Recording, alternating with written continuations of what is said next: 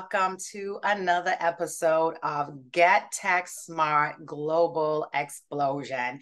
This is a limited mini series that I am doing uh, for the LinkedIn Accelerator program, Technology and Innovation, to put a spotlight on women and minorities around the world who are just really making tremendous contributions to tech.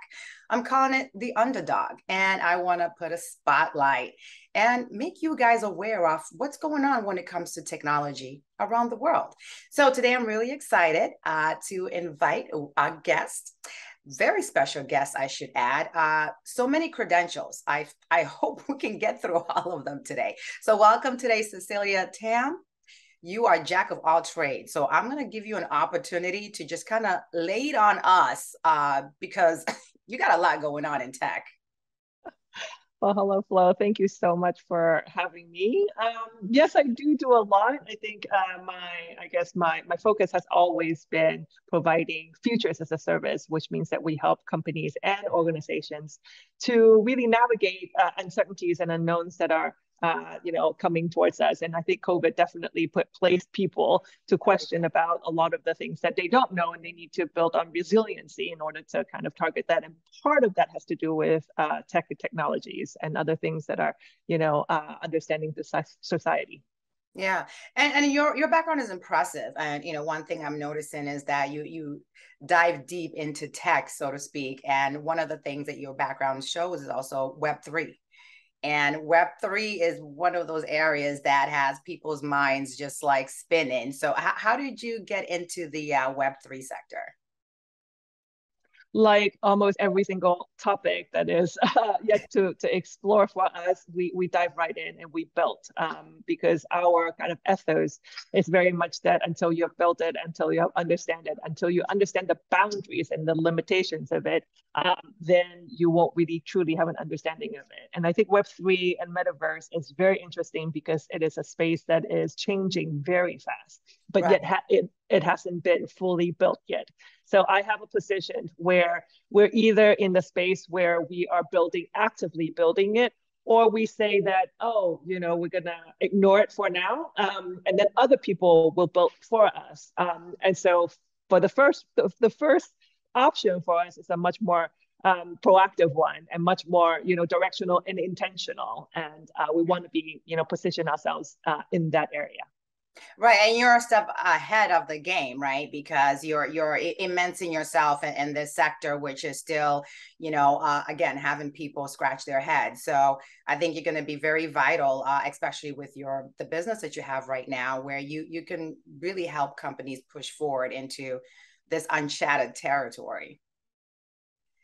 Yeah, definitely. Um, and I think that more than anything, companies are very thirsty in understanding that space as well. And because they are in a position to uh, to scale up more so than smaller companies, they actually need to be responsible uh, in what they built.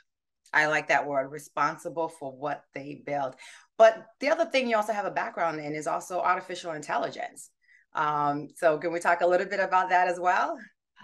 Absolutely, and I, and I wanted to kind of state that one of the reasons why there's, you know, I'm, I'm interested in so many things is because as a futurist, uh, we actually need to understand a lot of the lateral and tangential kind of dis, uh, disruptions that is happening because it is when these things merges that that when we have innovations that happens. And so um, I did a little bit of the, uh, I, I created a school for yes, women. I saw that Yes, uh, All Women, um, and All Women meaning all inclusive. And we we we're trying to create a pipeline to um, to foster women in tech leadership.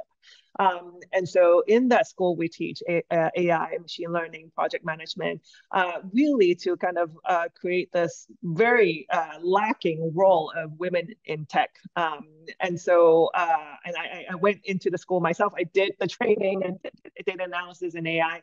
And one of the things that I'm, uh, you know, one one reason I'm super interested in it, it's the same reason why I got into the metaverse, is that if you're not actively building these things, then um, you know, you you you don't really understand and or push that those boundaries even more.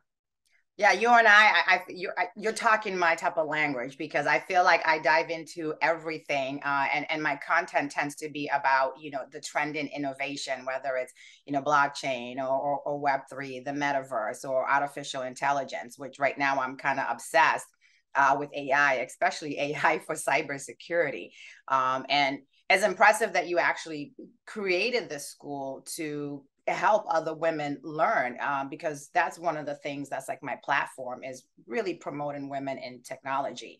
So how do you think the shape of women in tech is right now? Are, are we making progress or we should be doing better?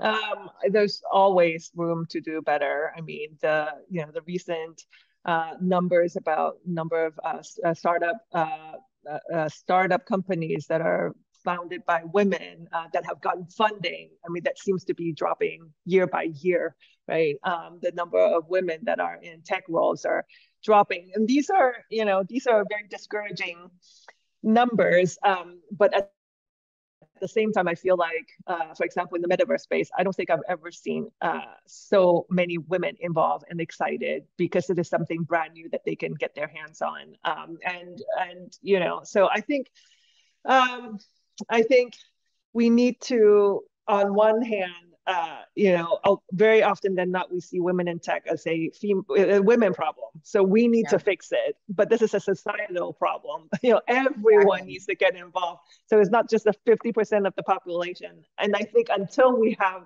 kind of the whole alignment, the whole entire society being involved, we're still always going to be uh, needing more and more work and, you know. Yeah and and hence why we're here today putting a spotlight on the work that you're doing. And you know i i think you have some time to brag a little bit because you recently got an award didn't you?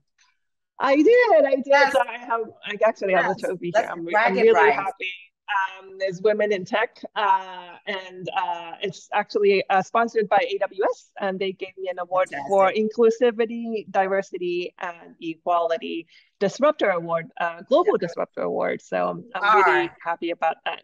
and you should be, and I am so happy for you, global disruptor. I, I that's well deserved and you know thank you so much for taking the time to to talk to me uh, like you said it, it's going to take all of us working together uh, to really put a spotlight on on women in tech. Uh, yeah we don't want those numbers going backwards uh, we want them going this direction. So exactly. so much again today cecilia. I really appreciate it. Thank you for having me. You're so welcome